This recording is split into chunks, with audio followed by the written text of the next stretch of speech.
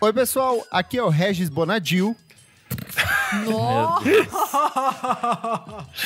Ai, ai. Olá, pessoal! Eu sou Isadora Almeida da Pop Loud Radio. Eu sou Renan Guerra do Screen and Yell. E eu sou o Nick Silva do Monkey Bus. E no programa de hoje, é importante ouvir os clássicos? Sim!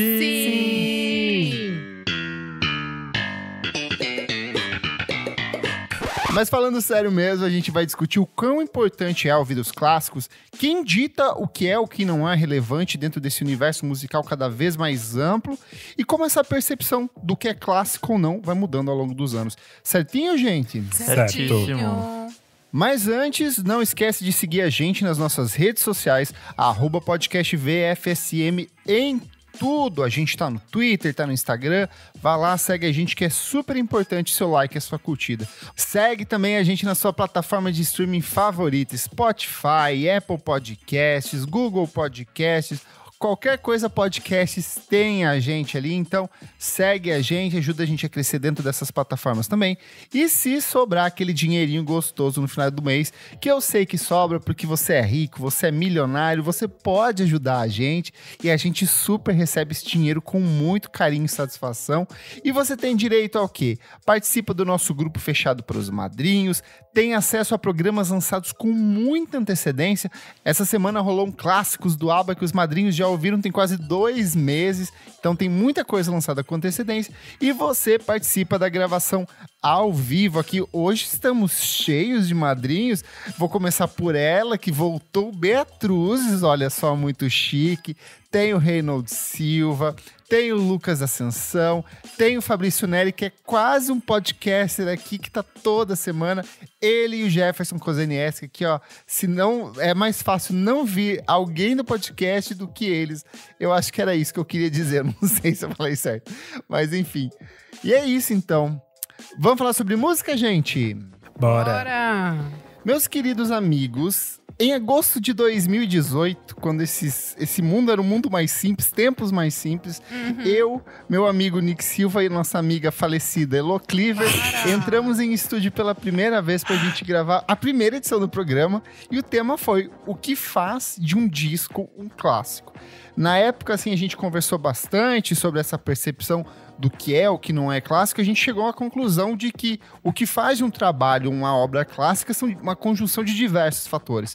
A temporalidade, é, o impacto desse artista em outros trabalhos futuros ou recentes, o quão seminal essa obra é, o quão transgressora essa obra é. Então, esse conceito de clássico, ele é ele é muito subjetivo, ele é muito amplo e ele muda de acordo com essas regras da música, algumas mais subjetivas e outras não. Mas o que a gente quer discutir hoje aqui é o quão importante é ouvir essas obras ditas clássicas, é, o quanto isso é de fato essencial em um cenário onde a gente tem uma cultura cada vez mais diluída, onde o disco de fato vai perdendo espaço, a gente tem uma cultura muito mais de single, de mood, de ideias mais soltas, e aí a questão é discutir isso, assim, o que que define esses clássicos, por que que a gente tem que ouvir esses clássicos e por que que é importante ou não isso. E aí eu queria entender de vocês, quando vocês começaram a ouvir música, como que foi essa relação ouvindo esses discos mais cabeçudos, mais, mais difíceis, mais icônicos, como que foi para vocês esta relaçãozinha? É, eu acho que logo que eu comecei, tinha essa coisa de você tem que ouvir determinadas coisas. E aí, naquela sanha meio adolescente, eu ouvia e queria saber, ai não, isso não é tão importante. Alguém inventou isso, achei isso chato, nem gostei disso, ai nada a ver. Nem liguei, não é bom. tipo assim, foi meio assim que eu ouvi os Beatles, sabe? Quando eu era adolescente, tipo, I really don't care. Não gostei, não quero saber desses homens, não acho interessante, não acho relevante. E aí eu acho, mas eu acho isso muito positivo também, revendo hoje. Quando a gente é adolescente, é bom ter essa coisa meio ouvir, mas depois falar mal, sabe? Que a Sim. gente pode ter quando é adolescente. Mas eu ouvi algumas coisas. E aí outras coisas eu não ouvi e deixei pra depois e também foi bom. Você, você ouvia por influência de quem? Você lembra? É, eu acessava muito blog, muita coisa. E muito. E eu via muito MTV. E aí, obviamente, nesses blogs, a gente sabe que a maioria deles eram escritos por homens. Então, a grande parte das referências. Homens brancos. Então, a grande parte das referências vai vir de bandas de artistas brancos e de homens. E aí, então demorou um tempo para eu chegar em outras coisas que no início eu não ouvia tanto e até entender a importância dessas outras coisas que talvez sejam ainda mais formativas para mim. Mas, e ressignificar exemplo, esse conceito de clássicos também. É, né? porque uma das coisas mais formativas para mim foi a Bjork, que eu descobri a partir da MTV e era tipo, lembro que foi o especial da Luisa Micheletti, ela ficava explicando as coisas sobre a Bjork. E era um outro olhar, assim. Daí eu entrei em outras coisas, sabe? E você, minha amiga Isadora Almeida, que sempre teve um pezinho no rock and roll aí, como é que foi essa relação de ouvir essas coisas que alguém falava, isso aqui é essencial? Você que teve esse contato com a MTV, com pessoas da MTV, programadores que falavam assim, isso aqui ó, é clássico, você tem que ouvir. Exato, amigo. Bom, voltando um pouco na saga lá em Sorocaba, antes de chegar aqui na Alfonso Bovero, é, eu comecei a ouvir. Eu não gostava.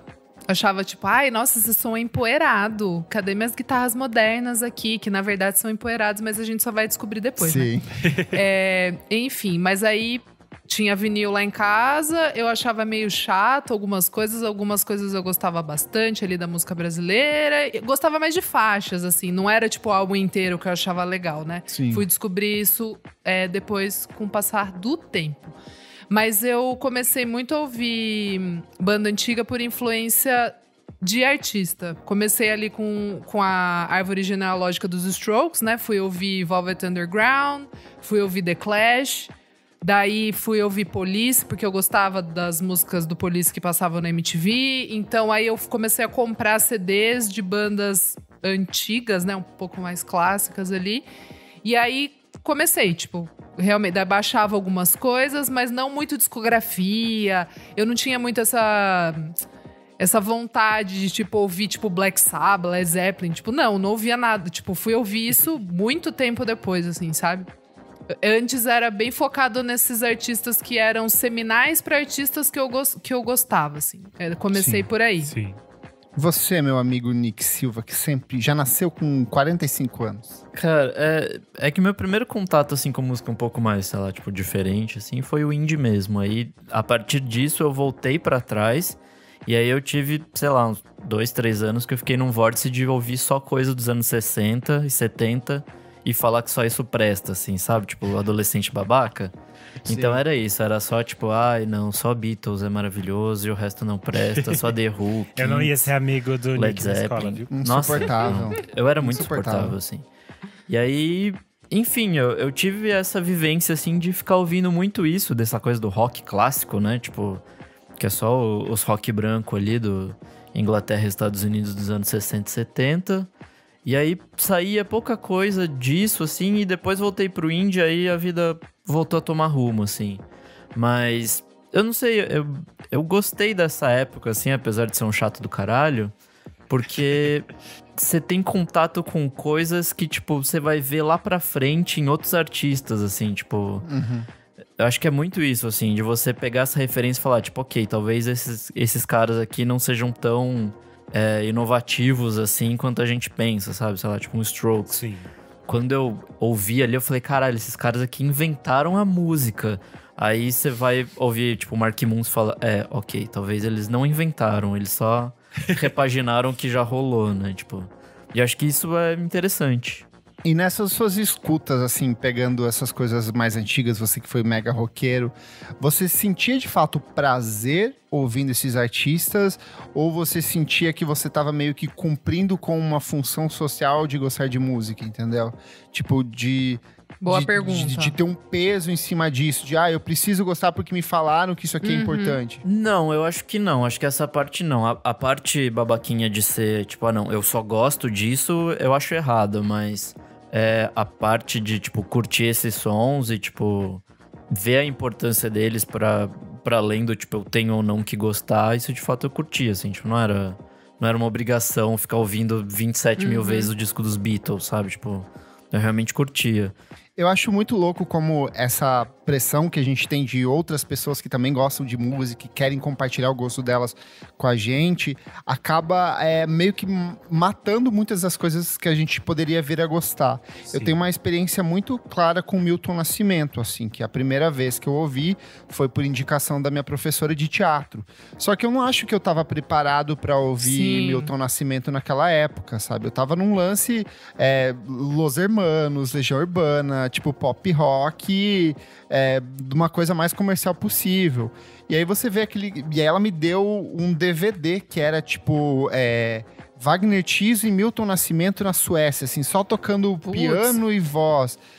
Eu achei um, um porre, assim, eu Sim. achei horrível. Eu falei, cara, isso não é legal, eu não conseguia ver a beleza daquilo. Uhum. E durante, sei lá, mais de 10 anos eu reneguei Milton Nascimento, assim. As pessoas. Hoje todo mundo sabe que eu gosto muito. Só que o Milton Nascimento na minha vida é uma coisa muito recente, tipo de 2014. Uhum. Que uma amiga minha, que, a Ione, que já gravou aqui, que ela falou assim: Não, eu vou Explicou te mostrar um como. disco que eu Sim. acho que você vai gostar. Sim. E aí ela me botou um disco ao vivo do Milton Nascimento, que tinha uma pegada mais conceitual de coisas mais psicodélicas que eu gostava. E aí que eu fui voltar, e aí que eu fui pro Clube da Esquina, e aí eu fui pro Minas, pro Gerais, e para todos os outros trabalhos dele, assim.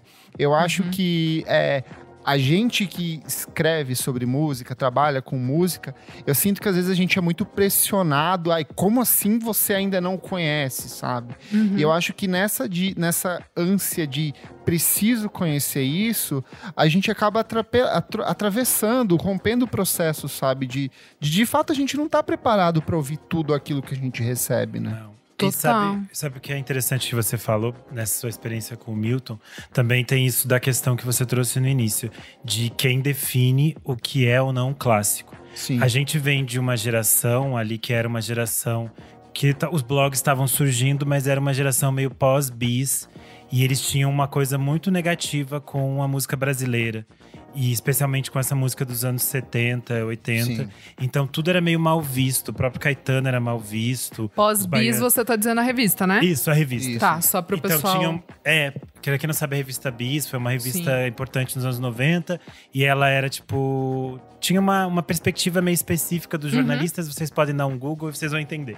Boa. E aí tem um, tinha um olhar muito específico para os clássicos que te colocava assim: ah, isso não é moderno, isso não é interessante.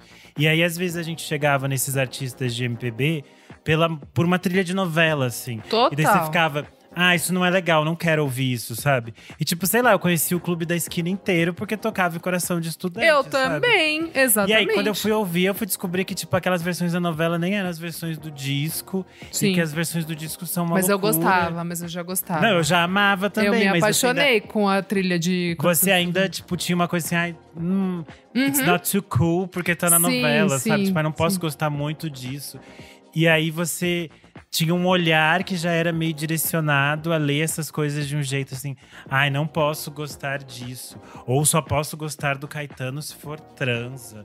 Porque uhum. É eu, durante muitos anos, nosso querido Lúcio Ribeiro, ele pautou muito o meu gosto no sentido de renegar certos aspectos da música brasileira. Eu acho que hoje o Papo Load passou por uma reformulação muito grande, de ter o top 50, de falar mais sobre música brasileira, mas nos anos 2000 eu sinto que o Lúcio tinha uma visão muito mais focada nesse indie rock paulistano e que rompia um pouco com a, MP, a MPB, de, de, a música brasileira de Sim. verdade, sabe?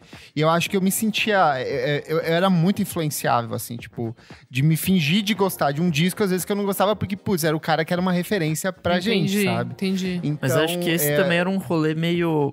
É pós-tribo, assim, que ainda existia um, um, tanto, assim, tipo, ai não, eu sou indie rocker, sabe? Tipo, sim. eu só gosto Mas dessa eu acho panelinha. Que foi, sim, e eu acho que foi um, um momento da música que não foi frutífero em, em nenhum. Não, é, nenhum sentido aqui, principalmente aqui na música brasileira. Uhum. Todo mundo pode falar, ai, mas tem a música do não sei aonde, do não sei quem. Tá, gente, sim, mas tô dizendo não é, era um momento em que, tipo, foram uns 10 anos aí, cara, de que a, a, a, música legal e a música que, né, tipo, que, que, tem ali alguma coisa é a música de fora, é a música que é de download, é tipo, é a música que é, casa melhor com alguns sons que estão rolando em outros países. Então, assim. Eu acho gente- que nessa, no que o Nick falou também dessa coisa das tribos, foi o que durante muitos anos me fez renegar música pop. De- e assim, Sim, hoje eu olho pra música pop e eu falo assim, gente, Exato. tem obras Mas, aqui amigo, que são tão ou mais é, Influ- espetaculares, influentes e transformadoras do que um monte de clássico bossa dos anos Mas sabe o 70 que de eu hard acho? rock, sabe? Eu acho que isso também é um pouco é, do mundo como ele tava se ajeitando, assim, de. Nascendo ali, a- a- é, tipo, blogs e sites, a, a mídia impressa, né? Que ficava, tipo, sempre baseada em rock, em, na música branca. Aquela coisa que a gente já discutiu muito aqui. Mas eu acho que é isso, assim, é isso que você falou. Agora, que é, já tem, né, alguns, alguns bons anos, a gente Pelo menos entendeu uma década que a gente consegue É, acho uma que- fluidez maior. que tá, é, é uns sete anos, assim, que tá bem legal, né? Que a gente tá entendendo realmente tudo que tá, que tá funcionando, assim. Não, mas é isso, assim, de, de entender que, a- que, que, não, que não era sobre aquilo. Aquilo era, era meio que um modelo, era um jeito que dava na época e que aquilo ali era também meio. uma defesa do mercado, né, da indústria, assim. Era o jeito que eles conseguiam, tipo, para poder vender também. Então, eu acho que também tem uma coisa de. Nessa época, muitas das pessoas que entraram na internet, elas vinham de mídias tradicionais. E Exatamente. esses blogs eram dessas pessoas. Só que aí foi interessante porque também, a partir disso, se formou uma possibilidade de outras pessoas começarem a falar e escrever sobre Uhum. música na internet. E isso é o que mudou nos últimos anos e a gente vai ter blogs e pessoas e com backgrounds muito diferentes escrevendo e existindo a partir disso. Eu acho que isso é interessante. É, E muito nesse- da, minha, da minha vontade de criar o site lá atrás, de trazer, de compartilhar a pirataria de um monte de artistas Sim. que eu tava ouvindo, era isso. Que eu não sentia que lendo Trabalho Sujo, lendo Pop Load, tava contemplando as coisas que eu tava ouvindo, entendeu? Eu falei, não, então eu preciso compartilhar um pouco das coisas que eu tô gostando. Mas eu Então- acho que é muito, assim, é, é, é muito palpável a gente, tipo, explicar. Essa galera vem de CD, de mídia, tipo, física, assim. A nossa não é física, não é palpável. Tipo, vinil, essa turma vem do vinil, de, tipo, de ter que pagar, de ter que ter aquilo, de ser meio que um momento. A gente não, a gente é, tipo, encher o, o, o- o pendrive ali, o, o MP3, o iPod. Então, assim, é uma coisa que nem que, que a gente nem vê. Então, pra gente é muito mais fácil estar tudo misturado e a gente entender a música de um outro jeito, assim. Não, essa, você falando isso faz todo sentido, porque você pensa, quando essas pessoas da- das gerações pré-internet, você sim. tinha que ter acesso a um clássico, você Sim. precisava ler. Tanto que na Bis, que é a mesma revista que eu citei, tinha uma Total. última página que eles indicavam clássicos.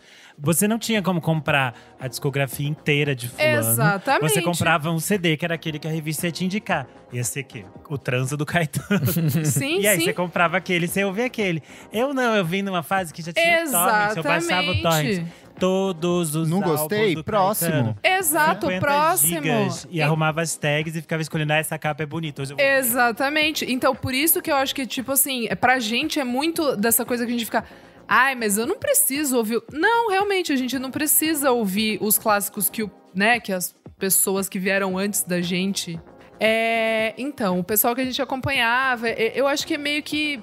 Era meio que uma obrigação, era meio que uma coisa que eles realmente precisavam fazer aquilo pra poder comunicar as pessoas que estavam vindo pra falar, ó, meio que existe uma discoteca básica aqui pra vocês conseguirem ouvir coisas novas, meio, sabe assim, tipo, Sim. e pra gente não não era mais sobre isso. É o que o Renan falou, a gente baixava um milhão de coisas ali e pode ser que o meu álbum clássico não seja o álbum clássico que tá no final da, da bis, né? Que ele seja mais é, impactante ou que ele converse muito mais pra- é, com a gente, assim, com as coisas que a gente acha que, que esses álbuns influenciaram, é, ouvindo outros clássicos nossos, assim, Sim, que a gente escolheu.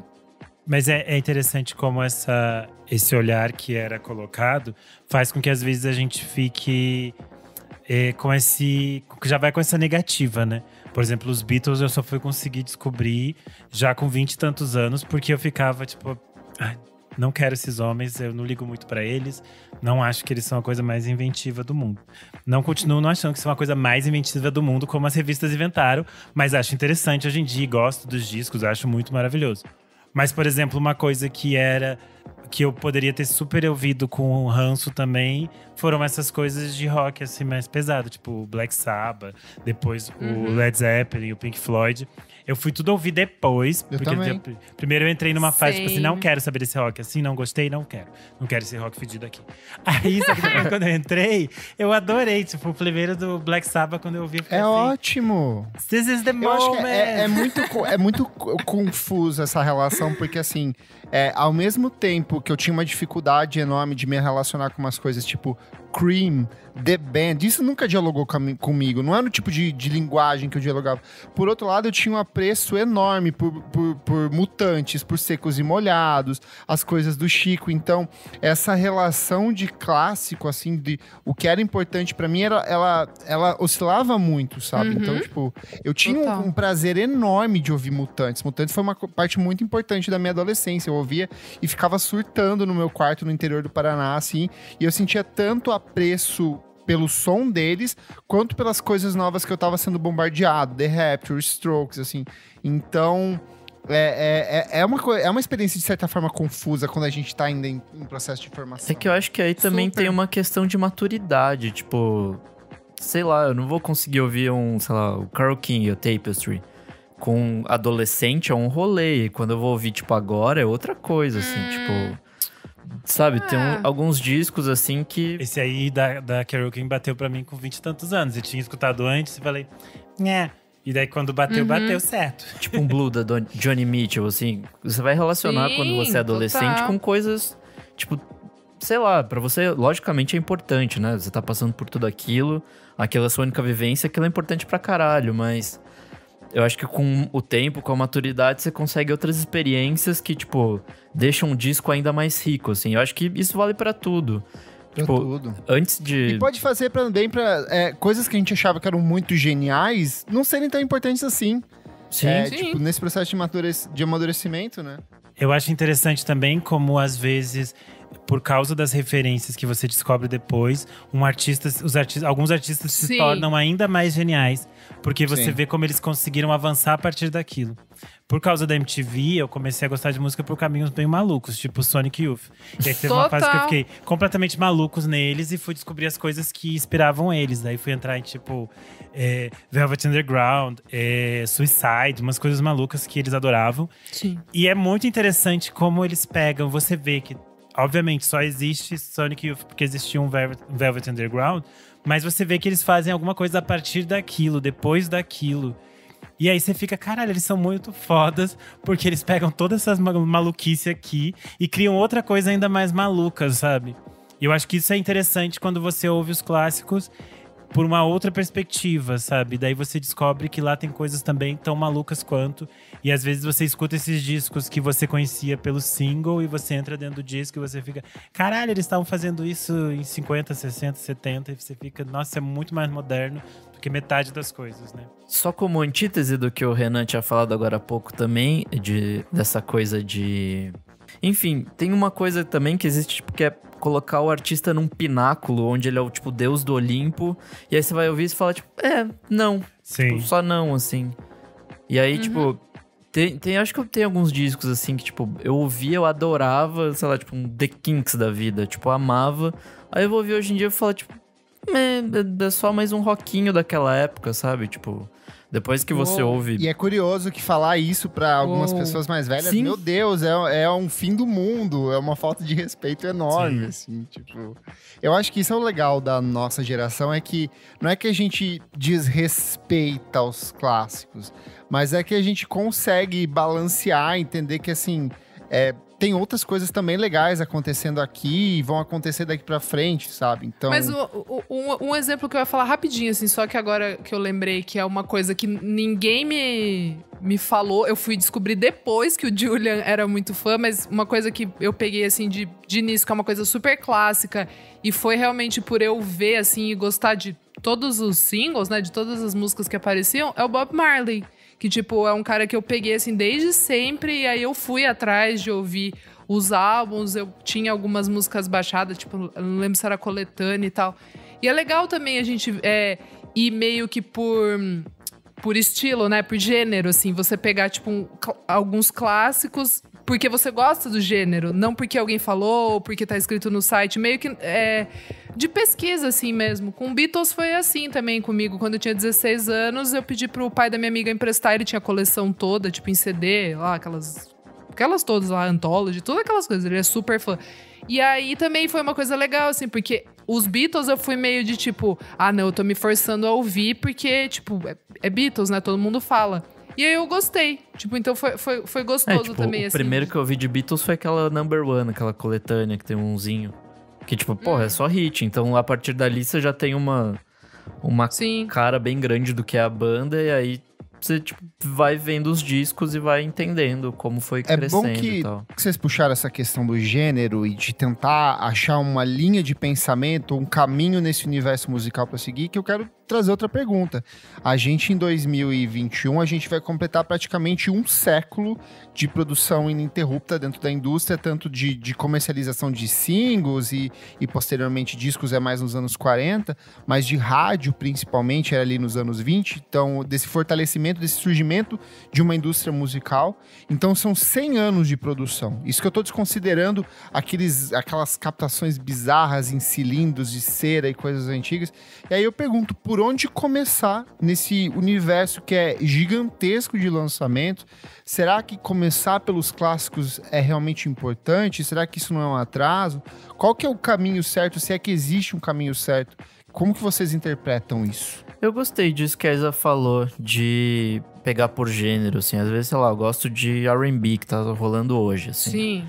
E aí eu falo, ah, quais são os clássicos da R&B, sei lá, dos anos 90, que é uma coisa, tipo, tá ali pra trás. Que não é tão. É, não é tão. E aí não é tão eu vou longe, ouvir né? aquilo, vou consumir, pô, gostei, quero mais. Pô, vou voltar pros anos É 80, isso, aí você vai voltando. 70. Exato. Eu acho que Exato. vale a pena fazer essa viagem até pra você ver, tipo, como a, a parada foi evoluindo, assim, tipo, então fazer o- até o contrário, assim, tipo, R&B que tava rolando nos anos 60, que tava rolando nos anos 50, eu quero saber e, tipo, a partir daí ver como ele de fato foi indo pra frente. Sim. Mas eu acho que o mais fácil é como você falou, tipo, dos 90, assim, sabe? Não pega uma coisa tão distante de você. É, pode ser Talvez. esquisito, né, tipo... É, pra você começar mesmo, realmente, se você não quer, né, olhar alguma lista de alguma mídia ou sei lá, né, ou ouvir algum amigo te contando. Se for por você mesmo, que você quer ir, tipo, na, na boa, no seu tempo, acho que é isso. Talvez pegar um gênero e ir um pouco mais.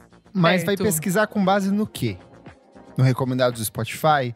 Porque aí é um, é um outro dilema. Se a gente começa a pegar essas listas de clássicos, Não, não, não, ia, Não, não, não ia falar se recomendado. a gente pegar, por exemplo, essas recomendações de clássicos é, do R&B dos anos 70, elas vão ser muito pautadas numa linguagem muito específica.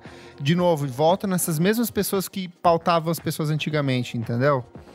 Como que a gente o, quebra o um pouco Spotify dessa tem, ordem? tem umas coisas que eles me indicam boas, que às vezes até eu não sabia, dentro de Ah, discos. claro! Quando aparece, tipo, por gênero. As às vezes ele me plataformas são- indica, me indica algumas coisas, tipo, Dream Pop, umas coisas que eu deixei Total. passar e ficaram. Total. Mas são umas coisas esquisitas, porque o meu algoritmo já é meio esquisito. Então, Aí- eu, eu, eu, eu não ia falar por algoritmo, assim, tipo, eu acho Não, que é. talvez ler mesmo, assim. é- infelizmente, eu acho que não tem muito como fugir, assim, sabe? Do, do- das do- ainda, né? Dos grandes veículos e tal, de tipo. Mas acho que é isso. Se você tá procurando de alguma coisa que é mais específica, você não vai chegar no- só se você gosta, sei lá, tipo, de metal, e aí você ouve coisa de agora, e daí você vai chegar, sei lá, em metálica e vai ouvir, sabe? Mas tô dizendo, sei lá, se você gosta de Dream Pop, aí você, tipo, vai. Claro que você vai chegar em Cocteau Twins, sabe assim? Tipo, é isso que eu tô querendo Sim. dizer. E, e, e ele, e não é uma pedra filosofal da. Só um comentário aqui ó, da nossa madrinha Beatriz. Ela falou assim: acho bom começar a pesquisar clássicos a partir das referências que os artistas que você gosta É, têm. eu fui assim. Na é minha legal. época, eu ia pelo Tumblr mesmo. Hoje em dia tem o Spotify. Eu também concordo. Eu acho que Eu essa coisa assim, da, da árvore genealógica, genealógica, pra mim, Melhor é, coisa. e às vezes não é nem da árvore genealógica. Por exemplo, já falei milhões de vezes aqui que eu amo assistir What's in My Bag da Amiiba, aquela loja também. de Ai, eu discos. amo. Que as pessoas vão lá, elas selecionam, sei lá, cinco discos que elas Então, gostam esse é muito. um jeito. E que às vezes não tem nada a ver com o tipo de som que elas produzem, mas que me abre um portal por um mundo mágico, inclusive de música brasileira. Tem muita música brasileira que eu fui descobrir por conta de referência de disco gring, que foi lançado na gringa. Saiu Claro. no Bandcamp, saiu uma prensagem Claro. especial lá fora. Então, eu acho que essa relação dos músicos que a gente gosta facilita. É um trabalho jornalístico. A gente começou a ser jornalista fazendo isso, na real. Eu, eu acho que é isso. É, eu ia falar do, do mesma coisa que a Beatriz comentou aqui, que pra mim foi muito isso. A partir dos artistas que eu gosto, que eles gostavam ou que eles Uhum. citavam, eu ia pesquisando. Por exemplo, quando eu tava numa fase muito apaixonado pela Cat Power, aí eu tava ouvindo os discos que ela cantava algumas canções de outras pessoas. E aí eu comecei a ir atrás dessas cantoras que ela amava muito. E que eu sabia que eram cantoras fundamentais, mas eu sempre ficava, tipo, não indo atrás delas, que era tipo Nina Simone, Sim. Billie Holiday, eh, Ella Fitzgerald. E aí foi meio difícil, porque essas são cantoras, tipo.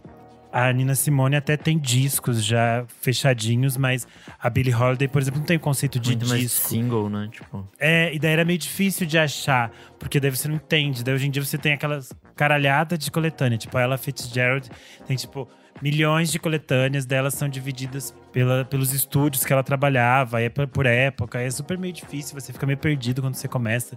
Aí você vai ver a coletânea tem 15 horas e você fica, por onde eu começo aqui, Exato. Deus? Essa mulher, a voz dela é maravilhosa, mas tem muita é, coisa. é. Aí eu fui descobrindo aos poucos, mas foi isso, testando e tentando entender. Mas de todo modo, eu acho que é um caminho que tem que ser meio natural, assim. E aí pode ser que você vai chegar em clássicos que sejam clássicos pra você e pra esse Uhum. artista que você gosta, mas não necessariamente vai estar na lista da, da Pitchfork. É, eu acho que uma coisa até legal do, do podcast é que toda semana a gente lança um clássicos VFSM. Só que não necessariamente são, tipo, grandes obras mega cultuadas. São obras que são é, transformadoras pra gente, pros convidados que a gente recebe, que marcam um ponto específico da história, sabe? Então eu acho interessante esse, esse processo de, de ressignificar o que é clássico, o que não é. E eu, eu acho engraçado que muitas das coisas que a gente fala aqui, às vezes pode parecer meio herética pra quem é um cara roqueiro, assim, que gosta de Black Sabbath, Led Zeppelin, essa coisa mais clássica. Mas eu, eu achei muito engraçado sentir esse peso de ver um- uma coisa que era muito clássica pra mim se perder recentemente. Que é o lance da Pitchfork lá de revisitar as notas. E quando chega no é, Turn on the Bright Side do, do, do Interpol, a pessoa me dá uma nota 7 pro disco, assim, sabe? Era 9, abaixou, Era um né? 9,5. Esse- Mas a gente tem a noção de que esse disco é um marco, assim, da música nova-iorquina ali dos anos 2000. Um dos álbuns responsáveis pelo revival pós-punk, o trabalho que influenciou Sim, uma sim. caralhada de outros artistas. Mas é muito curioso ver... Eu, eu, eu realmente senti, eu falei, putz, estou velho. Eu falei assim... Tem uma outra geração que não tá mais se conectando Mas, com esse tipo de coisa. E, e eu não. Só que eu não vi isso de uma forma negativa. Eu, assim, eu Uhum. achei legal que, tipo assim, outros significados, outros olhares, outras interpretações, sabe? Mas eu acho, mas eu acho que nesse caso em específico é simplesmente ali o, o editor ou eu, eu já fucei a maioria das pessoas que trabalham na Pitchfork assim, e eles têm muito a nossa faixa etária de idade, tipo os mais velhos têm tipo 35. Então é a nova geração, é a galera que baixou a tipo música em, em, em iPod. Então assim, eu achei muito legal essa brincadeira de re- reavaliar as notas. Eu achei até que eles meio que fizeram pra causar, pra brincar, Foi, assim. foi. Porque Te- as notas porque teve. problema, é. né? É e assim. Exato, e teve, tipo, dos Strokes, o Room of Fire. Eu realmente, eu também acho o Room of Fire, em pouco em aspas, melhor que o Is This It, mas é o meu gosto, porque bateu em mim. Então eu acho que é uma pessoa ali que meio que também tem a minha idade, enfim. Dito isso, o do Interpol acho que foi meio que pra também gerar um pouco de bafafá, mas o que eu achei bem interessante dessa, dessa parada da Pitchfork que eles estão fazendo dos 25 anos de comemoração é que eles trouxeram os 200 álbuns é, tipo Eleitos pelo público. eleitos pelo público. Aí eu achei interessante a brincadeira, porque eu acho que são álbuns que pra gente vão ser, tipo, é os Led Zeppelin, é os Black Sabbath, da, da galera que a gente lia, entendeu? Então eu Mas acho que é muito eu acho- geracional. mas tem uma outra coisa. É que assim, para além desse lance da Pitchfork, é, eu, eu gosto muito de acompanhar esses sites, tipo Album of the Year, Metacritic. Sim. Eu gosto muito de ver a forma como esse público mais novo reage em relação a coisas que são consideradas muito clássicas, sabe? Sim. E é muito louco, porque é um, é um completo desprezo e um e uma, até uma, uma completa falta de desentendimento do que tá rolando, assim. Não, eu sinto que não existe mais um senso de pesquisa, de vontade de conhecer. E eu acho que tudo bem, Não, é sabe? também Porque não essas pessoas vão ressignificando o que é importante o que não é na, na vida delas, sabe? Eu não preciso mais ouvir as coisas que esse cara de 30 e poucos tá falando que é o melhor álbum do mundo de Mas eu tempos, acho que talvez não também- seja. Mas eu acho que também é muito por causa do tempo. O tempo. Tempo mesmo. O menino tempo. Hoje em dia tem um milhão de álbuns que estão saindo e que você consegue pegar esses um milhão de álbuns na sexta-feira, entendeu? Você não tem tempo e você também nem quer voltar pra entender o porquê que esses álbuns são esses álbuns. Ai, nossa, por que, que a galera tá batendo panela no hiperpop, mas antes tinha uma galera do trap, do. sei lá, sabe assim? Ninguém tá nem aí. Tipo, a galera quer pegar e ouvir os lançamentos ali e pronto. Então eu acho que o tempo também é, tem, tem um pouco desse, desse sentido, assim, de que sem tempo, irmão, sabe? Acho que clássicos É que eu não, não sei, pra cabem mim muito pra existe isso. uma. Hoje em dia, eu, é bem papo de velho que eu vou falar aqui, mas. Lá vem. Ô, Eu não tá- sei, eu- Cabelo branco ali, ó. É pior que eu tô com um monte mesmo. Mas é, eu sinto hoje música num consumo muito rápido, assim, tipo, muito Sim, fugaz, assim. E, e é isso. eu não sei, tipo. Eu acho que eu consegui aproveitar mais os discos na minha adolescência, porque, tipo, não era tão escasso, mas era mais difícil conseguir, né? Tipo, não era só um play. Talvez as, as novas gerações não vão ter mais clássicos, porque esse conceito talvez tenha se perdido um pouco também, Sim.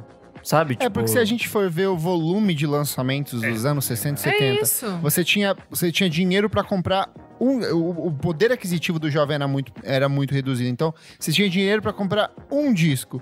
Você ia aquele disco que as pessoas consideravam essencial e você meio que ah, ah, eles podem ser discos bons, talvez eram discos bons, mas meio que você se forçava a gostar daquilo. Eu preciso gostar disso porque é só o que eu tenho, sabe? Então, eu acho que nisso a gente vai criando valores é, que são um pouco mais reduzidos e que é muito diferente da lógica de consumo atual. Hoje em dia, é, Assim. toda sexta-feira tem cinco, seis clássicos saindo, sabe? Pra, pra, pra essa galera. É que às vezes acho que é mais o conceito de gerar conteúdo do que, tipo, entre coelhinhos voadores aqui, fazer arte, sabe? Tipo. É muito Sim. mais uma coisa, uma lógica com muito mais comercial. Não que não, não fosse antes, assim, porque afinal a indústria musical quer vender disco e, e é- esse não é o problema. Mas eu não sei, eu sinto hoje em dia uma É, velocidade eu- muito eu- grande, assim. Amigo, é, é o te- é o tempo, realmente, assim, é o que a gente falou, de, de, de mudar o físico pro digital, de você perder um Acho que pouco mudou a lógica, noção. né? Tipo, do, de É, é, mercado, é. assim. Mas, mas é por causa disso, porque o tempo ficou mais escasso e ao mesmo tempo, tipo, você. Você. É isso, você não quer gastar o seu precioso tempo, meu amigo. O TikTok são. são o TikTok é, é uma coisa que, que tá ditando pra gente. Que isso? São, sei lá, 10 segundos pra você conseguir falar ali e Agora virar é um 3 hit. minutos. Tá maior, o tempo do um TikTok é Reels? maior. O TikTok tem tempo maior do que as faixas da Pablo Vittar.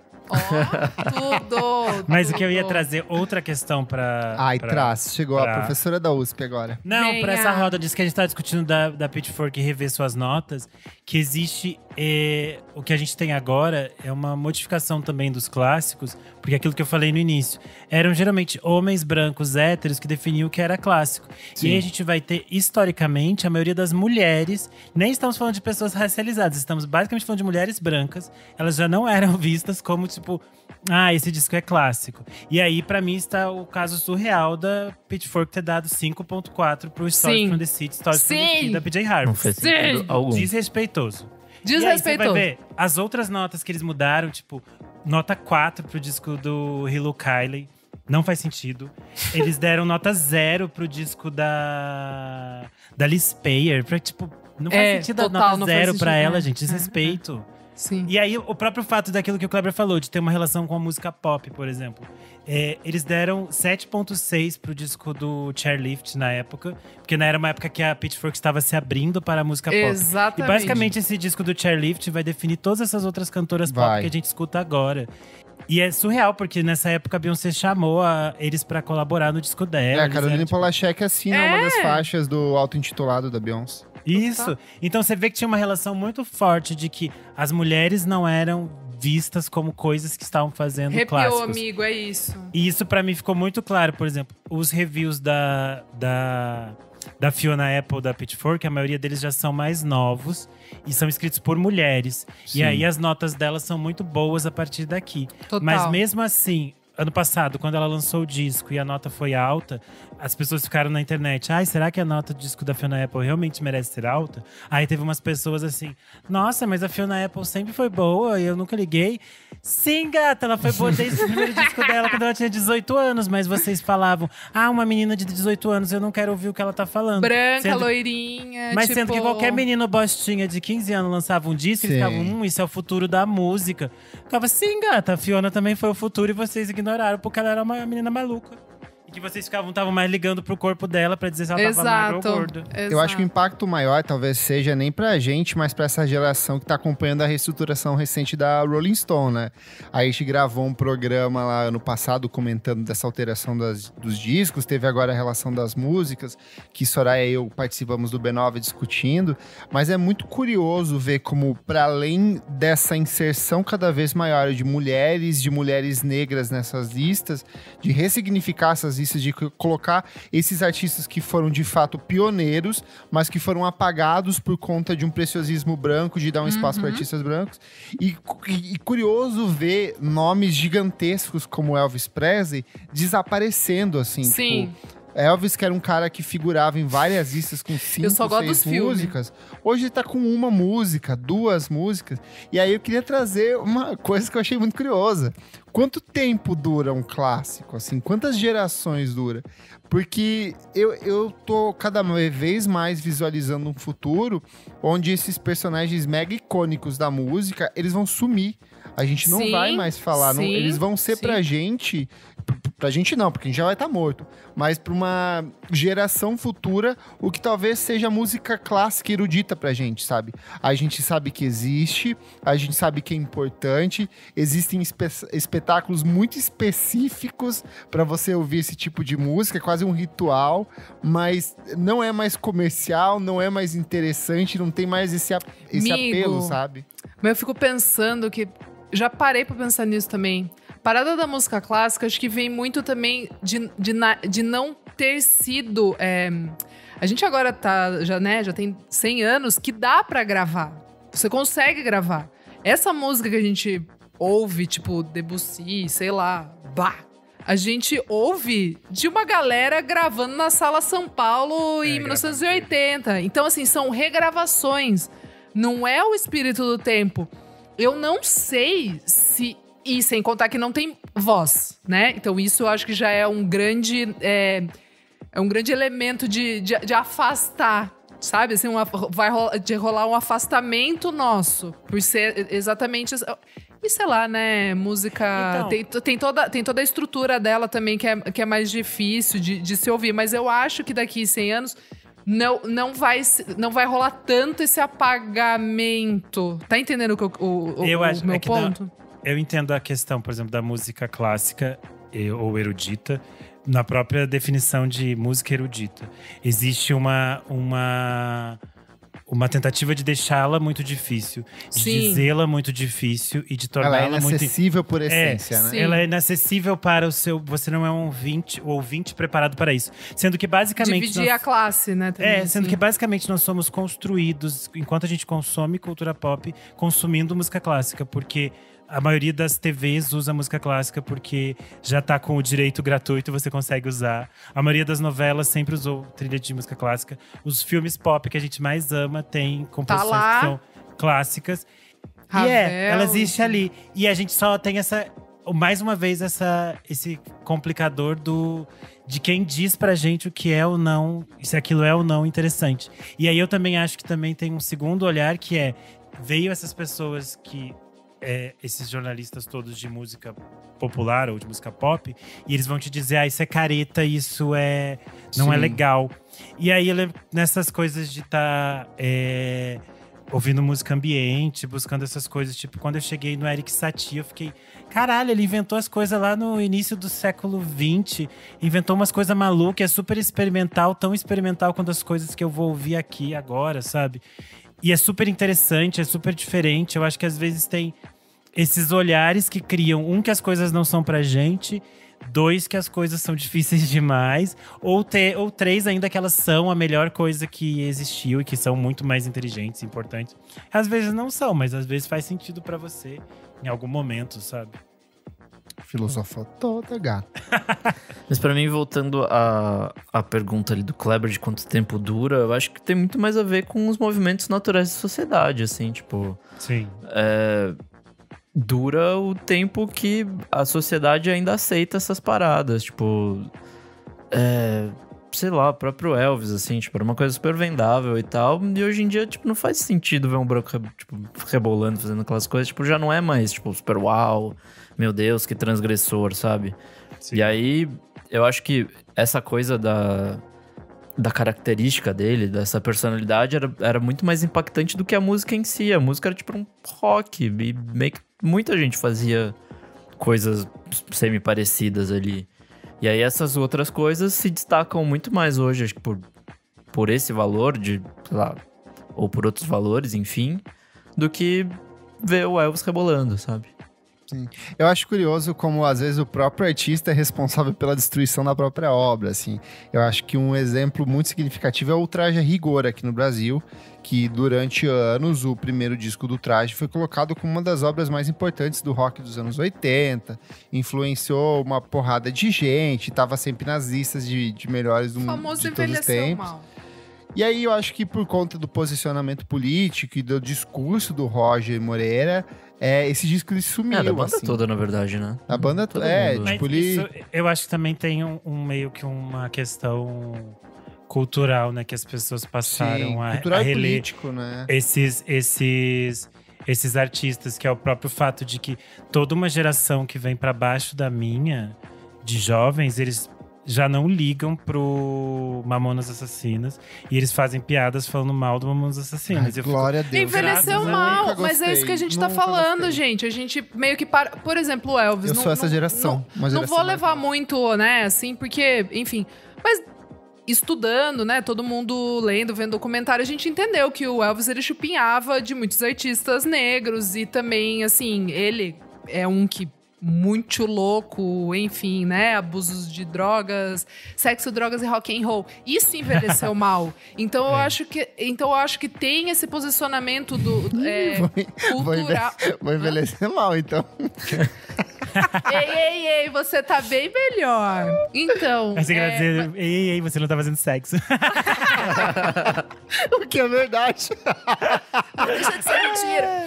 É, mas, mas então, assim, eu acho que tem, que tem isso, assim, do, do, do envelhecer mal. Eu acho que realmente, né, é, música também tem um, um- um prazo de validade. É que a gente tá vivendo muito. É, é muito recente, gente. É muito recente, assim, a história da, da música pop. Sim. A gente tá falando da música pop, que é isso que o Kleber falou, uns 90, 100 anos aí. Então a gente também. E, e com a internet, cara, é, é- é completamente outra história, assim. Acho que muita coisa vai se perder. É, eu acho que tem a questão de que aquilo que a gente falou antes, das mídias. Mídia, É, exato. Por exemplo, uh, pro Brasil existe uma questão de que eh, quando eu comecei, a- eu assisti TV Cultura, então eu já Eu ouvia também. também de música vem de chegou a. Inesita Barroso agora. Não, e daí eles Ah, vinham. Eles falavam Inesita. muito Tem uma de. foto com a Inesita eles falavam ainda. muito de Itamar Assunção. Se falava muito. Eu entendia que existia o Itamar Uhum. Assunção. Eu sabia que ele era uma figura mítica.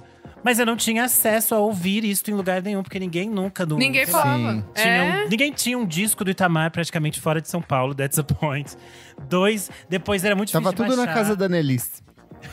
E ainda tá, né? Ainda tá. E aí, tipo, por exemplo, depois, nos anos 2000, o Sesc relançou a Caixa Preta com vários discos que ninguém mais tinha esse acesso. Só Aí foi pro alguém- Spotify ano passado, gente. É. Sim, na Exato. época, alguma gay legal copiou todos os discos que a Nelis não nos ouça, mas copiou todos os discos e colocou, pôr na internet. Foi assim que eu tive acesso a ouvir Sampa Midnight, essas coisas todas, porque eu baixei. E aí eu fui entender, gente. É, durante muito moment. tempo eu ouvia por causa das versões que a Cassia Eller fazia pra ele, assim, que era o mais Tipo, próximo que Zélia tinha. Duncan, ela foi a coisa mais importante para que muita gente conhecesse Itamar, porque ela gravou o disco inteiro, sabe? Porque não tinha, não tinha lugar nenhum. Então isso também conta. Mas eu acho que a gente tá numa fase muito legal que é a gente poder redescobrir novos clássicos que Sim. influenciaram muitos dos artistas que a gente gosta, mas mesmo a gente não tinha acesso ou não chegou a eles. Eu tenho achado muito interessante poder voltar nessas mulheres negras que tipo fizeram coisas surreais nos anos 60 e 70, tipo Alice Coltrane, é, a Bette Davis. Uhum. Eu tenho achado tudo muito maravilhoso, eu tenho descoberto coisas que Kátia antes- França aqui no Brasil, Rosinha de Exatamente, Valença, que a gente fala bastante. Todas essas cantoras, assim, que nunca, nunca na minha vida eu tinha ouvido falar, sabe? Exatamente. Mesmo dentro desses espaços, tecnicamente, de apresentação de música, seja da MTV, dos blogs que a gente lia, eu nunca tinha visto, sabe? E é agora que eu tô tendo acesso a muitas dessas coisas, tipo. Por, por lançamento de Bandcamp, por eles próprios estarem relançando, por eles próprios estarem vivos ainda e relançando suas obras, o que é muito louco. Eu acho que a gente falou um pouco disso no episódio em que a gente fala sobre discos para começar a entender MPB e conhecer de música brasileira. E a gente traz algumas dessas experiências e que inclusive foram, é, que é isso que a gente falou. A gente ficou com esse olhar meio fechado para algumas coisas por causa de criação de outras pessoas, que é o que a gente fala nesse episódio da nossa relação com o Djavan, que as pessoas também criavam. E aí hoje, quando a gente olha hoje, a gente sabe claramente que existem questões muito claras, não vou dizer a palavra, gente, vocês sabem o que a gente tá falando, para dizer por que que essas pessoas não eram, tinham sua relevância bem vista. E é interessante que a gente possa ter outras pessoas escrevendo e falando de outras coisas e que a gente descubra novos clássicos. Eu acho que isso é o mais legal, assim, sabe? E por isso que eu acho que vai, faz sentido a gente ter essa pergunta de, tipo, vale a pena ouvir os clássicos? Vale, porque tem muita coisa legal, mas não precisa ser necessariamente os clássicos que estão lá na lista de fulaninho de tal. Pode ser uma outra lista aí que você inventou, que são os seus clássicos. E vale a gente descobrir Make your own coisas. classic. com isso, eu quero fechar aqui ó, com um pensamento da Soraya Alves, que ia participar do Pensata. podcast hoje. Ela falou o seguinte: clássicos são necessários se você quer aproveitar a música como ferramenta para conhecimento da sociedade. Micota, ela falou, ó, Lacrou! É ela- Exato, é isso. Cronologia. Fechamos aqui então, gente. Fechamos. Fechamos. Vai lá no nosso Instagram, na edição desse programa, que essa, isso aqui, ó, é só o começo da nossa conversa. Você vai lá, você vai comentar e você vai contar pra gente qual que é a sua relação com os clássicos. Você acha que é importante ouvir? Acha que não? Acha que foda-se? Foca no que você gosta e deixa os clássicos de lado.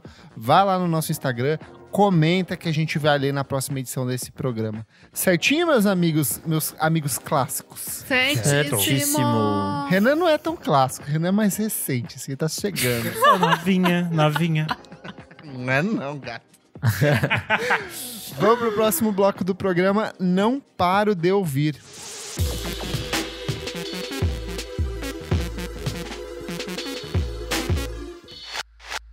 Pessoal, começando o nosso segundo bloco, não paro de ouvir. Nick, o que, que é esse bloco? Nesse bloco a gente dá dicas novíssimas de coisas que a gente não para de ouvir. Uh, então vamos lá, o que, que você traz? Bom, pra compensar as últimas semanas que Ah eu lá, tenho trazido é- porra ah, nenhuma, Ah, tá. essa semana eu tenho mais coisa. A primeira é uma garota que chama Orion Sun, a produção do Bem Rostan. bom. Rostan. É um rapzinho muito legal. Acho a música chama Não. Concrete. Achei bem divertido, assim, tipo, Boa. vale a Bem bom. pena. É, eu, sinceramente, não senti tanto a- o peso da mão do Rostan ali, mas. Enfim, a eu música senti é boa. na, batid... na bateria. Na É. bateria, você fala. A hora que a Isa veio falar, hum, essa bateria, Hum, essa é das sujinha. É. Entendi. Enfim, a voz da mina é muito boa, música Sim. foda. Minha segunda dica é uma banda chamada Fruit Bats. É um indie Nossa, folkzinho. essa é velha. Essa é velha. Anos 2000. É, eles estão com, com coisa nova. É, Se eu não me engano, vai sair no, no aniversário de. Tipo, eles têm, vão fazer 20 anos agora. E aí eles estão lançando algumas coisas, assim. É, eles lançaram nessa semana uma música que chama Rips Me Up. Muito boa. É, vale a pena. Hit me up before you go. Foi o Gogo. Minha próxima dica: Land of Talk com Moment Feed. Lembrando. Ai, bom demais. Nossa, Em memória, Hello Cleaver. exato. da Não, em memória é o breve. Ai, que saudade de showzinho lá. Pô, o show, o show dela foi bem bom. Enfim, a- essa música rockinho, ro- indie rock do- dos bons, rock das minas.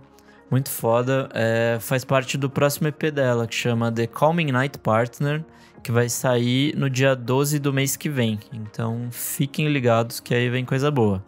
Minha próxima e última dica Vem aí, vem aí, vem aí. é a nova música da Snail Mail, Ben Franklin. Bem legal. Hum, Depois daquela puta musicona que ela lançou, acho que uma ou duas semanas atrás, que era Valentine. Valentine. Ela voltou com essa música foda, veio com um clipe também, bem divertidinho. Também a mesma coisa, rock das Dançou minas. com uma cobra. É verdade. É bom demais. Eu tô. Tô bem ansioso pra esse disco aí. É, parece Pra que, com a cobra. que vai ser legal. O disco vai ser de dançar lançado dia cobra. 5 do mês que vem também. E é isso. É, vamos lá. Renan, o que, que você traz? Renan Guerra, nosso, nosso garoto abençoado. Ai, Dai. É, a primeira coisa é uma coisa completamente inesperada, que é o single que a Zélia Duncan lançou de Noite Meu Preta. Deus, acabou esse podcast. Noite Preta é uma faixa da Vange Leonel, a geração que Cara da noite não conhece, mas era a abertura da novela Vamp. A faixa foi feita para um curta-metragem chamado Uma Paciência Selvagem Me Trouxe aqui, até aqui, que é um curta que conta a história de um amor lésbico que entre duas ah, as duas atrizes principais, que é a Zélia Duncan e a Bruna Linsmeyer. E eu achei muito curioso porque a, a Zélia Duncan geralmente faz essas coisas super acústicas, violão e tal. Aí, este, este single da Zélia foi produzido pela Natália Carreira, que é guitarrista da Letrux e que produz algumas coisas ao lado da Letrux. E aí é bem diferente, assim, eu achei super legal. É, e é interessante que ela resgata a Vange Leonel, porque a Vange é uma figura muito fundamental para a cultura LGBT, especialmente para as mulheres lésbicas nos anos 90 e nos anos 2000. Ela É morreu figura- não tem poucos anos, não, morreu, não Sim. foi? Isso. Mas ela, além de cantora, e ela também era ativista e tal, então vale procurar um pouco da história da própria Vange. E achei bem gostosa essa versão da Zélia Duncan. E o que eu passei escutando o final de semana inteiro foi o Pacífica Pedra Branca da Jennifer Souza. Tudo. Eu achei muito, muito bonito. Ai, deixa pra Isa esse. pra Não, que- vamos falar todo mundo junto. Então vamos, vamos todo mundo junto. Nossa, atacando, me silenciando. Achei Essas são as pessoas, gente, que querem construir, entendeu? O que é clássico não é silenciando uma gay. Mas Ai, é até bom perdi mesmo, aqui. né? É muito bom. É muito bom esse disco. Ele tem Chique. essa, essa coisa que conversa um pouco com esses clássicos da música mineira, essas coisas do Clube da Esquina, essas coisas do Super. Milton. Mas eu acho que ele ainda é aquilo que a gente Ai, falou, ele vai transcende. para outros lugares. É. Ele conversa com outras sonoridades, com o folk, com o indie alternativo de fora. E tem outras misturas. Achei muito, muito bonito. A voz dela é muito linda. Eu acho muito interessante como ela se posiciona enquanto compositora também. Acho que é um disco muito gostoso. Só um adendo, gente, que eu entrevistei a Jennifer lá no meu programinha na Veneno.live, no Alone Together, e ela comentou, Kleber, que o álbum dela favorito desse ano é de quem? Do menino Floating Points com For Sanders. Então, E quem não é? Ah, e quem não é? É E, fa- e faz sentido ali dentro, Sim, ouvindo, tem né? toda uma Tem base toda de uma- sopros, de, de, de Uhum. metais ali. Total, Eu fiquei Uma bem delicadeza, assim, né? porque Exato. eu gosto muito do da Moons, que é a banda da qual ela é também uma das integrantes. É uma banda Que participa do disco também. assim, participa do disco também, uma das faixas. Eu acho que o que a Jennifer faz nesse disco meio transcende mesmo o que ela tinha feito no álbum anterior, assim. É muito maior, é muito mais complexo, é muito mais com muito mais significado, só que ao mesmo Sim. tempo ele é muito sutil. Sim. Ele é todo delicado, ele parece assim que se você soprar, o disco se desfaz, assim. Ele é Total. muito delicado, ele é Total. todo anuviado, a voz dela, assim, parece que é o único elemento que você tem de, de segurança dentro do disco, porque todos os arranjos, parece que aquilo vai se desfazer no seu ouvido, assim, é muito frágil, Sim. muito delicado. É Então eu fiquei uma, uma- foi uma surpresa absurda pra mim esse disco. Eu Também. acho muito interessante também como ela não se alinha ou não se conecta a nenhuma outra coisa que as cantoras brasileiras estão fazendo. Sim, assim. Ela é muito fora da curva. E isso é Muito. legal. Porque a gente tá muito numa fase que todas ou elas querem ser muito pops, fazer um novo hit Sim. do verão do TikTok. Sim. Ou elas querem imitar alguém que já fez alguma coisa antes. E aí Sim. ela tá, tipo, muito fora da curva. Isso é muito legal, é muito interessante. É fresh, uma delícia. Boa. Migo Klebers, o que, que você Pode traz? você, pode você. Posso eu? Amiga Gente. Isa, eu tirei aqui a carta revés e estou jogando pra você. Meu Deus, agora eu quero, eu quero jogar Banco Imobiliário. É o Uno, é o Uno. Não, do, aquele do. Não é do Passa Sua Vez lá que pula? Enfim, É, gente, dá também. Todo jogo. Dá também. Vamos lá, gente. Canastra, É, canastra aqui, ó. Revesta, canastra. Vou falar Buraco. muito, muito rapidamente desse, mas a rapidinho. A Cell, né? Puta que me pariu. Ah, Eu gostei, eu gostei, entendeu? Eu gostei, sabe por quê? Porque eu não aguento a voz dela, entendeu? E aí, ela cantando Rita Eu Lee, gostei, eu gostei. sabe por quê? Eu gostei. Porque eu tava, quando eu vi a lista de coisas e ela falou, vou gravar Chega Mais, eu falei, ah, se fuder, né? 2021 vai gravar a mesma merda que todo mundo já gravou. Então, e ficou boa, não ficou? Então, mas aí eu acho que eu tava tão negativo que eu pensei assim, ninguém precisa de uma nova versão de Chega Mais. Exato. Eu, eu também pensei E aí me nisso. surpreendeu, porque Eu ficou achei uma e eu delícia. achei gostosa e a voz da Cel está linda e estou Tá curioso linda. pelo disco. Eu também. Gente, pra mim não rolou. Mas e aí vocês sabem que eu amo ela. Tem os Então você vai dela. fingir agora. Tudo, Exato. não. Então você vai. shh, Eu realmente não silenciar. curti. Eu não gostei do Andreas Kisser ali tocando. Eu senti que é a mesma Ai, coisa de amigo, toda eu vez que ele faz parceria. Eu fiquei Eu muito achei o triste, um de verdade. esquisito. Eu achei. Ah, é, eu gostei, eu- aqui Essa bateu. parte que eles estão falando, é, tá? Exato. Nem Bom, não- ficamos não nos me 50%, pegou. Estou 50%. muito ansioso pro disco, porque ela vai cantar Fiona Democracia, Apple, né? ela vai cantar Vamos ver o Xadê, que ela vai cantar vai cantar Milton Nascimento. Mas é, é- eu acho que até foi bom essa música eu não ter gostado, porque me baixou a expectativa, sabe? Tá bom, tá então, bom. eu já tava com a expectativa bem baixa, né? Porque é, tem alguém envolvido na produção que eu não gosto. Que eu não Eu sei. Quando eu vi o nome. Nossa. Puta vida. Bom, vamos lá. Gente, é uma música que eu ouvi muitas vezes, que é mil por cento Dorinha Core, é o Hamilton Lighthouser com o Kevin é Morby. E é boa. Ai, puta que pariu, chama Virginia Bitch. Cara, é o Hamilton Lighthouser, é o The Walkman quando é mais bonito e é o Kevin Morby. É isso, não tem, não tem o que falar. É tipo. É, é, é o melhor dos dois mundos ali deles. É, um, é, um, é uma delícia, é um rock meio folk. Delicioso, gente. Achei maravilhoso, mesmo assim. Ouvi o álbum da Remy Wolf, achei uma delícia, achei Ah, eu acho divertido. ela bem gostosa. Achei, achei tipo, fã, assim, sei lá, se a Sim, ela tem, juventude estiver ela tem uma ouvindo coisa isso. de... Você quer ser amigo dela. É, se a juventude estiver ouvindo isso, pra mim tá ótimo. O álbum chama Juno, achei bem gostosa. É, gente, que surpresa. O álbum da Tássia Reis, o Próspera Demais. Gostei, ganhou, gente. Legal. ganhou outra vida, assim, tipo, né? Porque algu- a E merece faixas, também. Nossa, É. saiu pouco antes da pandemia. Ela teve que matar a turnê por causa da pandemia. Muito triste. Mas Então vai voltar agora, vai ter show agora. Vai ter show, vai ter show no Vai. Sesc. Mas agora com essa né, que tem uma zoeira boa ali, uns remix, umas novas camadas e algumas novas faixas, eu achei muito Eu gostei como ela bom. colocou umas coisas pesadas. E musicaram só mulher, só mulher né, É. no envolvimento ali. Ah, e tem- mas tem o Nelson D também, em algumas fa... em duas faixas. Quase só mulher. É, mas que daí ela traz um indício numa coisa, não tem assim, é um, é um grupo diverso. Exato, é a pluralidade. Eu acho que tem um. Ela conseguiu reunir uma, um grupo bem diverso de pessoas de diferentes gerações aqui e que produzem coisas que nem necessariamente estão linkadas com o som dela, mas eu acho que isso é muito interessante, Muito tanto bom. na produção quanto nas participações. Eu achei essa música com a Tulipa Ruiz maravilhosa e eu achei que ficou muito bonito o encontro da- das vozes delas. Eu amei, eu amei. Eu não tava, eu não tava tão empolgada assim, porque eu falei, ah, né, sei lá, vai É, dar uns remix meio- ali, vai Saiu ter como se fosse meio coisas. deluxe, né? eu É, fiquei, ah, tá. meio- Gente, tudo. Vai, menino Kleber. Vamos lá. Vou começar por um EP da Ans, chama All Hours. A Ah, Ans eu é uma vi. produtora de Manchester, eu acho que a Isa vai adorar. É, É um EP ouvir. de seis faixas e ele tem um conceito de que essas seis faixas se, se passam um intervalo de 24 horas. Então, em todo lugar do mundo tá rolando festa, então ela transita por entre estilos, vai pro, pro UK Garage, pro Wonk, Ai, pro tudo. jungle, pra essa produção batidona meio de funk dos anos 80. Então é um EP muito gostosinho.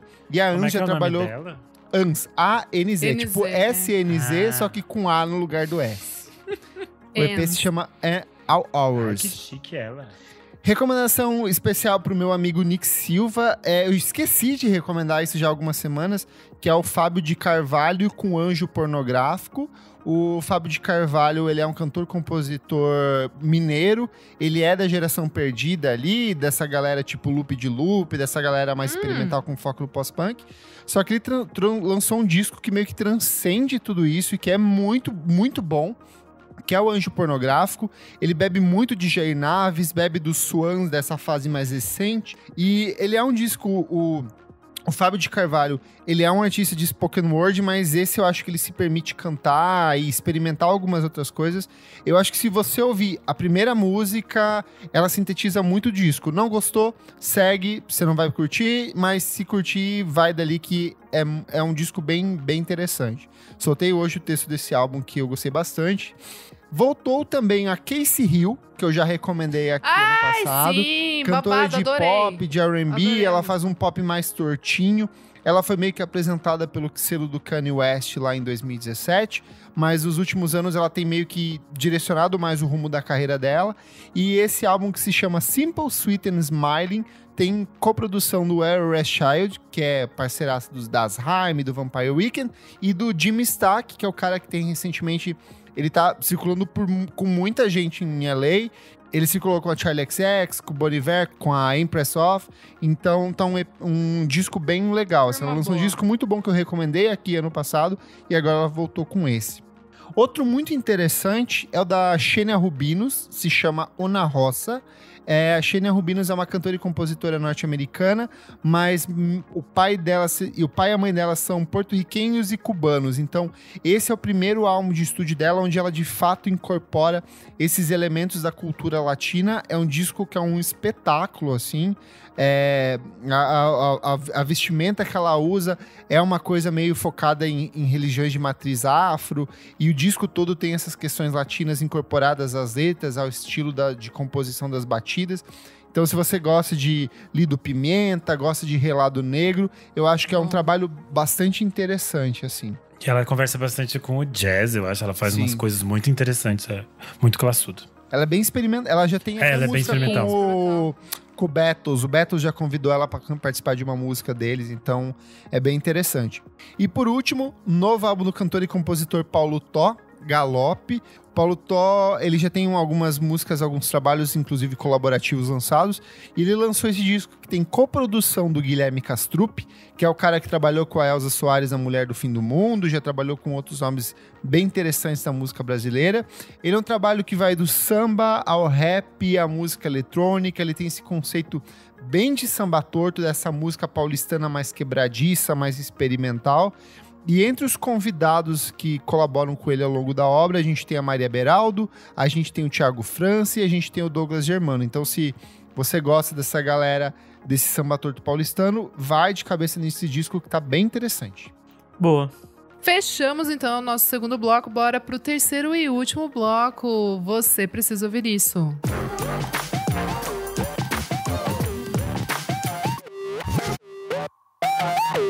Você precisa ouvir isso. Meu amigo Kleber, o que, que é este bloco? Meu amigo Renan, que eu revi semana passada, junto com a minha amiga Isadora e meu amigo Nick Silva, nos encontramos. Tiramos as máscaras e beijamos de língua numa Ei, troca ei, muito ei. louca. De variante Delta, Sesc. Beta, Zeta, variante Sesc.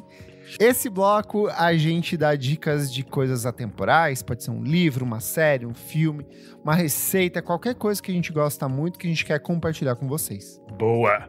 Isa, você quer começar com a gente? Eu posso estar começando, hein, gente? Vamos Vou lá. estar estando começando. Vou estar Estar, estando estar, começando. É, direto e reto, documentário do The Velvet Underground. Puta Ah, que eu quero pariu. muito Eu quero ver. Puta que ver. pariu. então tá bom, então é isso. Um beijo. Não, gente, ai, é muito bom. É, é dirigido pelo Todd Haynes, que dirigiu né, um monte de coisa boa. Velvet Goldmine, Carol, Perfeito. I'm Not There. Cara, o, a, a É um cara solução... Aficionado pelo glam rock, pela música dos anos 70. Não, e, e assim, dá pra, dá pra ver, sabe? Assim, você entende ele pela linguagem e é muito legal. Aí vou até a- botar no letterbox aqui pra não esquecer. Pô, amigo, muito bom.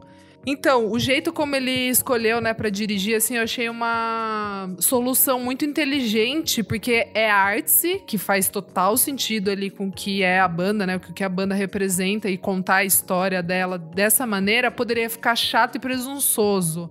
Mas eu achei que ficou muito interessante, assim, foi quando o cara é bom, é bom, né? Não, não, não, tem, não tem papo, assim. Achei muito Quem legal. tem um sonho não dança, bete balança, meu amor. Exatamente. É, é, é sobre.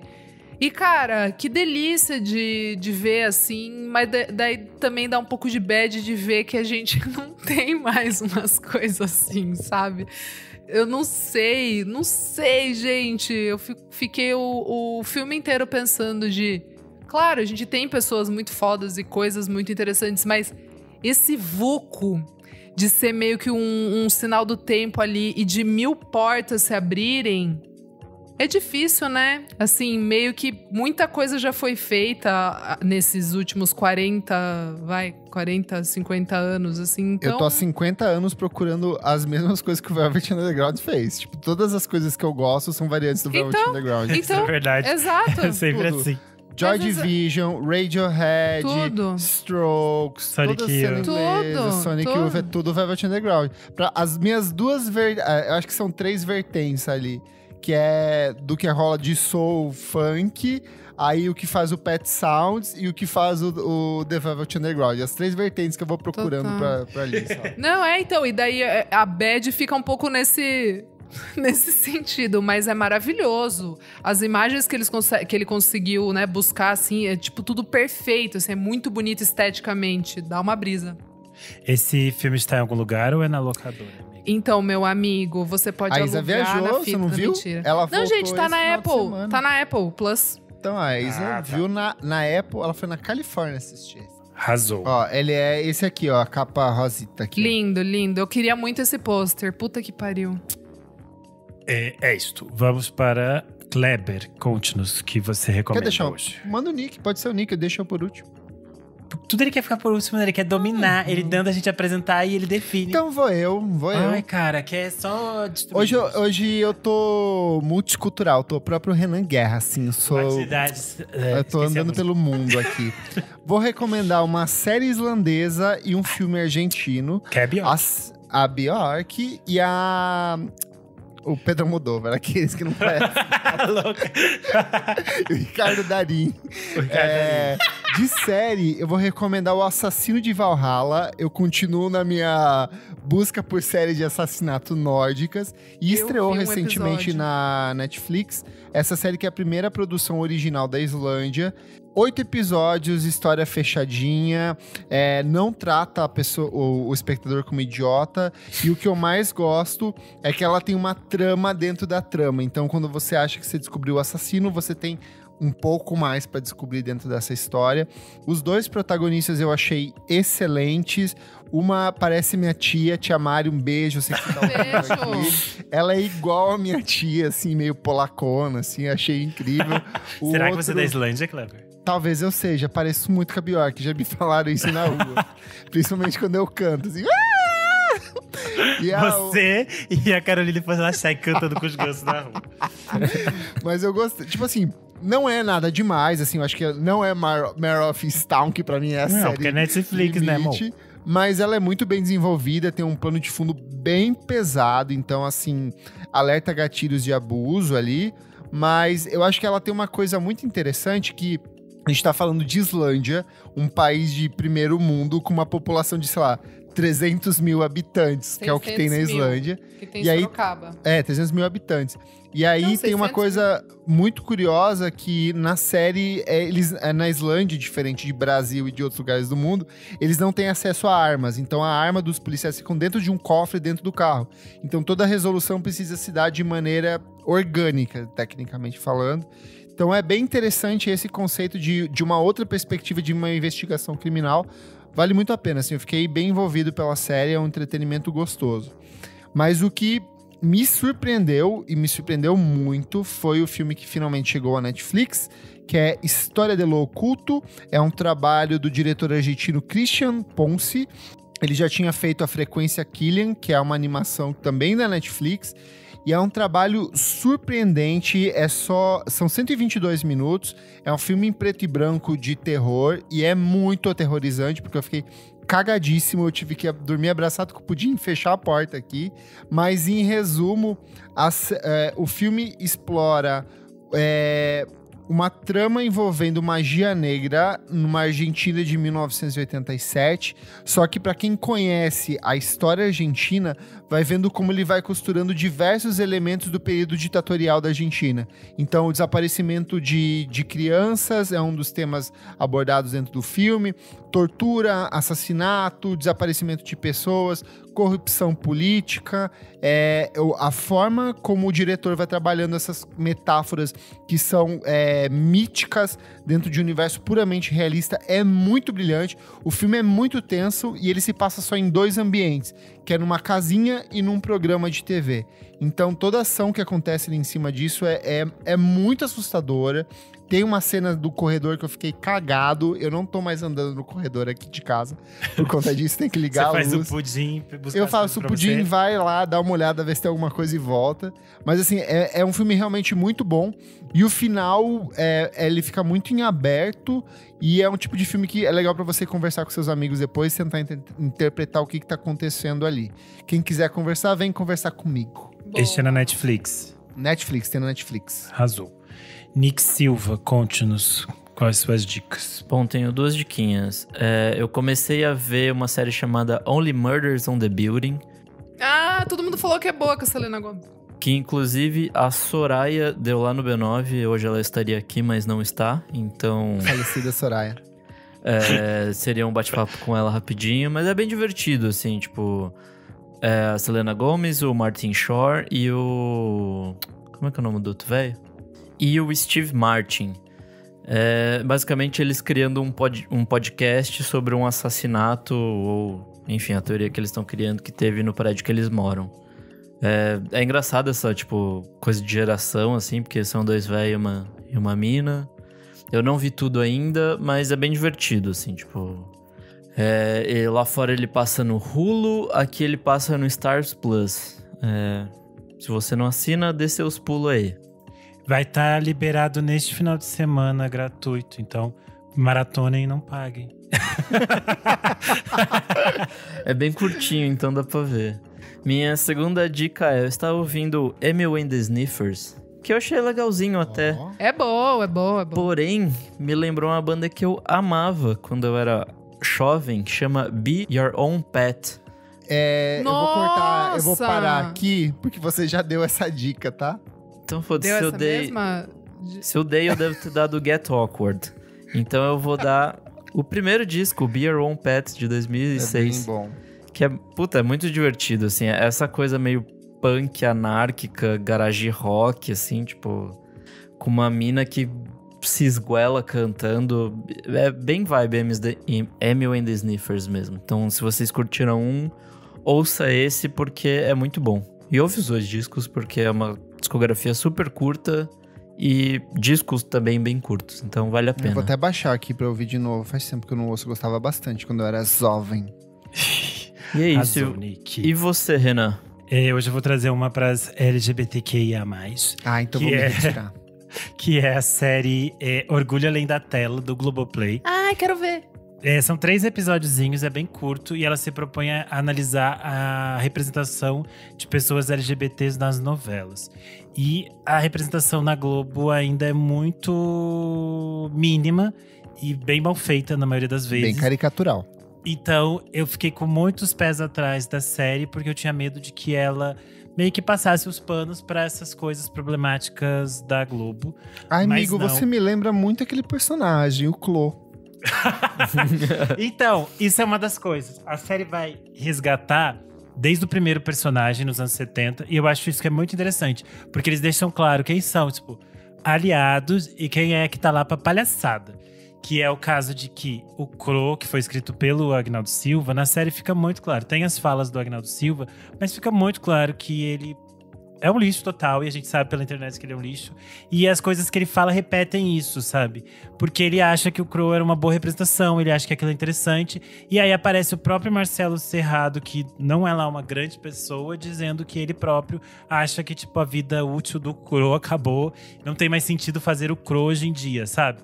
Umas coisas assim. Mas é muito interessante para quem é, é LGBT e viveu assistiu TV, sei lá, nos últimos 40 anos, porque a gente viveu coisas muito específicas, tipo esperar o beijo do Bruno Gagliasso em América, é, esperar para ver se a Aline Moraes e a outra iam se beijar em Mulheres Apaixonadas, é, assistir o, o, o, beijo do Félix, o casamento da Giovanna Tanner e da Taina Miller, sabe? A gente queria ver essas coisas e a gente vivenciou essas histórias. E é interessante como a série casa é, as histórias da TV com pessoas que foram impactadas por aquilo. Porque por mais que a gente fale, ah, essa representação ainda não é a ideal, é, ela é muito fundamental porque ela chega na casa de todo mundo e é o que as pessoas vão discutir, é o que as pessoas vão comentar. Então, tipo, eu lembro de quando o beijo do Félix aconteceu, foi tipo assim, final de Copa do Mundo para as gays. Eu lembro foi. que eu, eu tava na faculdade, então eu morava num prédio, tinha muita gente jovem, e as pessoas gritavam assim. Uh, na época, amigo, Teve mesmo. Eu, eu era. Eu tava trabalhando no Huffington Post e a gente fez durante dois dias seguidos a matéria de capa era esperando o beijo do Félix. E, tipo, não rolou no dia, foi rolar só no dia seguinte, assim. Sabe? Total. E é bem interessante, por exemplo, como eles resgatam. A Glória Pérez vem falando sobre é, o beijo do Bruno Gagliasso que foi cortado. E eles falam muito claramente que foi uma censura interna, porque o beijo foi gravado, o Bruno Gagliasso esperava, e a própria Globo assume que, tipo, nem tem mais essa fita que jogou fora. Então eu acho que tem umas coisas que eu achei que ia ser mais chapa branca e não é. E aí o último episódio fala um pouco sobre é, as pessoas trans e como essa representação ainda é muito pequena. E aí fala sobre presença de atores trans nas novelas, essas coisas todas. E tem pessoas com falas muito interessantes. Por exemplo, uma coisa que me surpreendeu na série é que o Hugo Gloss tem falas muito interessantes, porque ele questiona, tipo, essas reprises que estavam tendo, sabe? De, tipo, passar é, essa novela que o o Ailton Graça interpretava um personagem LGBT e era meio problemático. É verdade, aí... era uma drag queen, não era? Então, ele me colocava meio que como crossdresser, mas eram essas coisas do Agnaldo Silva que são meio problemáticas. Sim. Enfim, é bem interessante porque tem pessoas interessantes trazendo perspectivas interessantes e é uma série que é informativa, porque você acaba conhecendo de muitas novelas que a gente não sabia, mas é muito divertida, é meio tipo para se emocionar, você chorar, você quer boiolinha, você olha, você chora, você se emociona de novo, é bem fofo, tá no Globo. Boa. Esta é a minha dica. E aí, fechamos este bloco. Comentários referentes à última edição do programa número 165, os melhores discos de 1971, em que nós recebemos o querido Alexandre Matias, ele que viveu os anos 70 ali para recomendar os nossos os disquinhos dele. Comentário do nosso madrinho Ravi Schmidt, ele falou assim: "Escutando o programa agora, me impressiona como existe coisa boa em 1971, olho boca olho. Mas agora falando uma coisa pessoal, quando criança eu tinha pavor da música Construção. Isso me atrasou por anos escutar os discos na escola. Até hoje me deixa desconfortável escutar com atenção a letra. Crianças traumatizadas por Chico. Meu Deus. Gente, ele não tá aqui mais, né? Ele saiu. Você vai perguntar por quê? Acho que deve ser pelo, pelo ritmo, aquela coisa. Pode ser. Que vai meio na contra é, é meio violento. Não, é, não é, não é, é sussa, não. Não é sussa, não. eu fiquei rindo muito que o Cleber falou olho, boca, olho. Aí eu olhei. Ela me olhando. Aí eu fiquei que ridículo, cara. Ai, meu Deus. Comentário aqui, ó, da Strangrish. Ela falou: Nada a ver com o tema, mas queria dizer que eu amo o podcast porque vocês têm total clima de MTV Brasil preenchem é a lacuna sobre... que a MTV deixou na minha vida. Aí eu respondi, deve ser porque o Nick é filho do Léo Madeira. Então, quem não sabe agora eu, ficou sabendo. Eu substituo a Penélope Nova depois que ela morreu, né? Que no caso ela tá na Record e ela é. não existe mais. Aí eu tô substituindo, Exato. gente. Logo vai sair o nosso é, podsex do Vamos Falar Sobre Música. tá, lá isso aí vai dar audiência boa isso aí. Vai, o Kleber vai contar por como que ele tá com a garganta assim há tantos episódios. Como que o Renan faltou na semana passada, né, Renan? Piriri de porra. ai, ai. Boa. Eu sou arroba Kleberfac no Twitter e no Instagram, dicas diárias de música todos os dias pela manhã para você começar o seu dia matinal. Dia matinal. Que raiva. Eu sou arroba Almeida Dora no Instagram, Almeida Dora Underline no Twitter. É isso, moçada. Eu sou o underline Renan Guerra no Twitter e no Instagram. E é isso, não tem nada pra falar essa semana. Eu sou arroba Nick Underline Silva no Twitter, Nick Silva no Instagram. E é isso aí.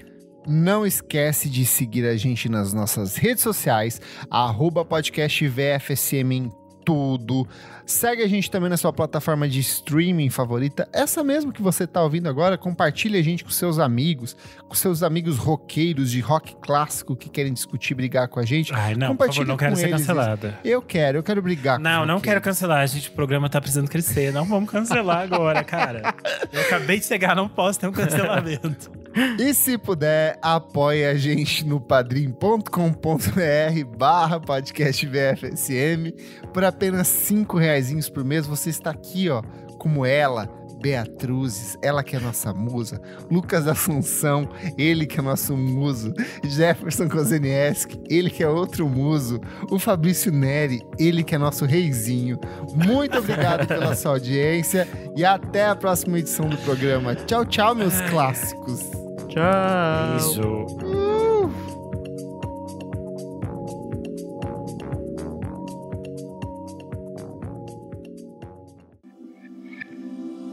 Esse podcast foi editado por Nick Silva.